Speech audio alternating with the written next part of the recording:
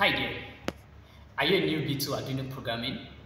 Or have you ever found yourself in a situation where you finished building an Arduino project yet felt a knowledge gap because of your programming skills?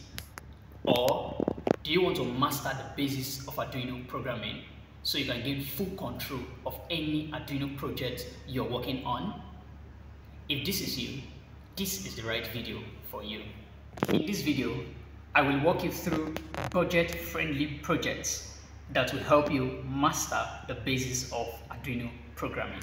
Let's see.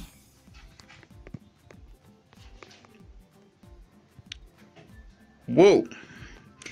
The onboard LED is no longer static, it's blinking. Alright, so our program was successful.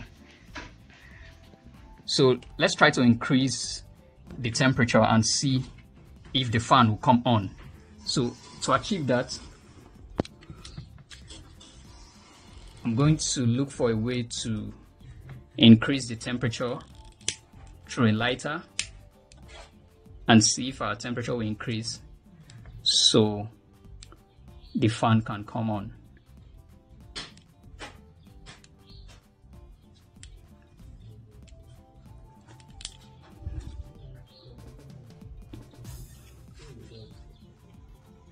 All right the fan is on.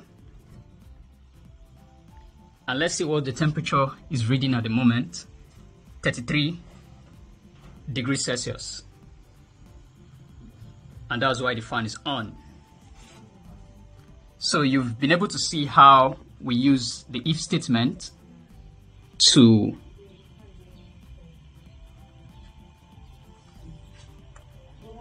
learn about conditional statement as a way to master the basis of Arduino programming. So, so guys, to master Arduino programming, you have to learn about loops. And in building this project, you will use loops to cycle through various colors on our GB LED by adjusting the brightness of the red, green, and blue components.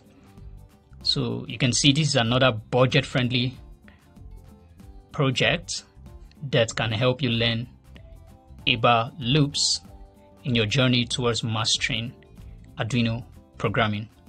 So largely, this project will help you understand how loops can be used to control repetitive tasks and create smooth transitions between colors, just as you can see.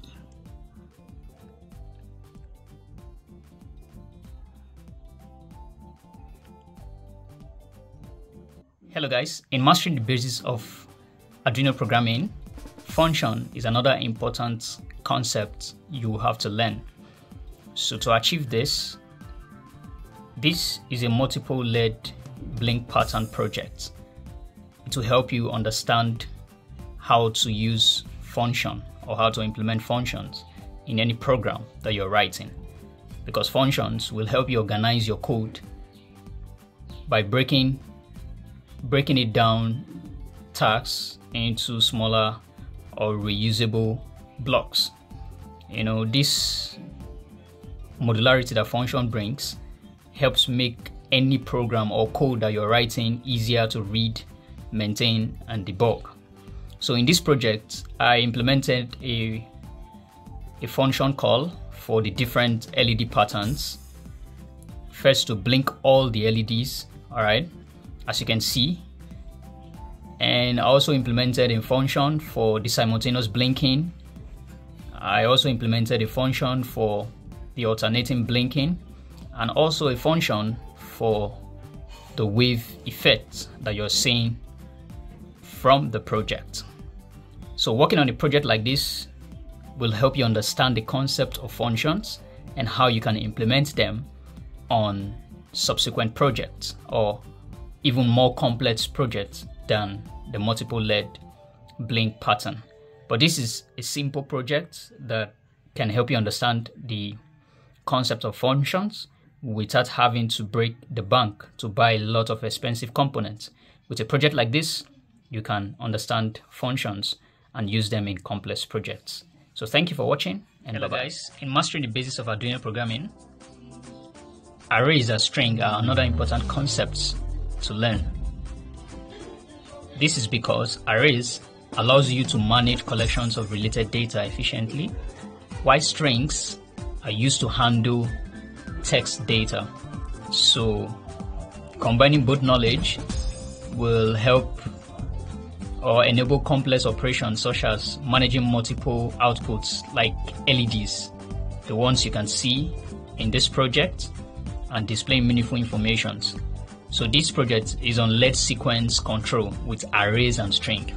And the goal of this project is to teach you how to use arrays and string as a way to master the basis of Arduino programming. So in working on a project like this, you will learn how to use arrays to manage multiple data points like LED pins and um, how to use the strings to handle text data for displaying meaningful information. To master the basis of Arduino programming, you have to learn the concept of random numbers. To achieve this, this is a project on random LED blinking with push button. This project will help us understand the concept of random numbers.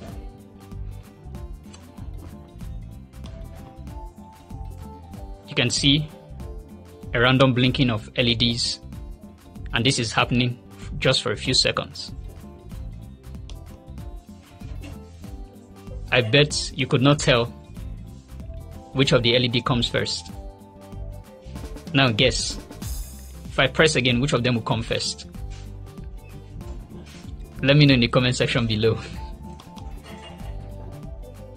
So the essence of learning about random numbers is seen in simulations, games, unpredictable behaviors and out- outcomes in projects or in programs.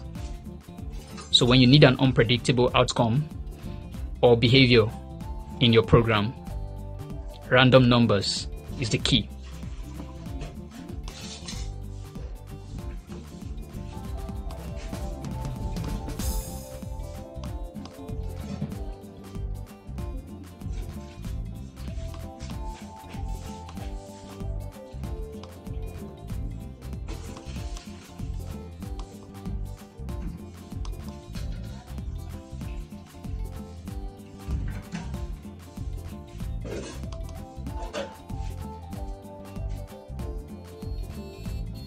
So guys, you should try making a buzzer play Twinkle Twinkle Little Star as a way to combine the concepts of variable, conditional statements, loops, functions, arrays, and string to create a melody.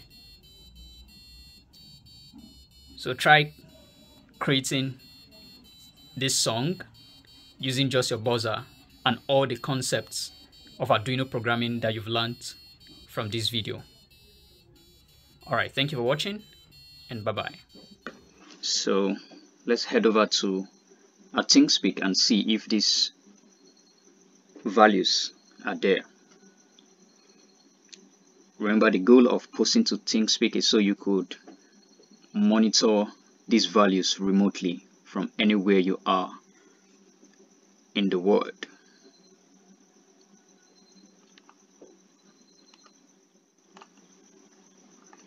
So guys, check out our ThingSpeak readings. Zero, remember it was at zero for a very long time. Zero, zero percent, still on zero. Can you remember one of the values we had? We had one point, but this is still zero. This is still zero. And it also gives the time. This is a pure data visualization. Alright. So and this is the 1.98. So this is a real-time value. All Congratulations right? for making it this far. So, to build each and every one of the projects displayed in this video, click on the link in the video description below to access a technical article that will help you build each of the projects. But not just building the project, but to understand each of the concepts discussed in this video so you can master the basis of Arduino programming. Thank you for watching and please, if you are new to my channel, don't forget to click on that subscribe button, subscribe to my channel and if you enjoyed the video, give me a thumbs up, like the video, share this video and thank you. See you in my next video and bye bye.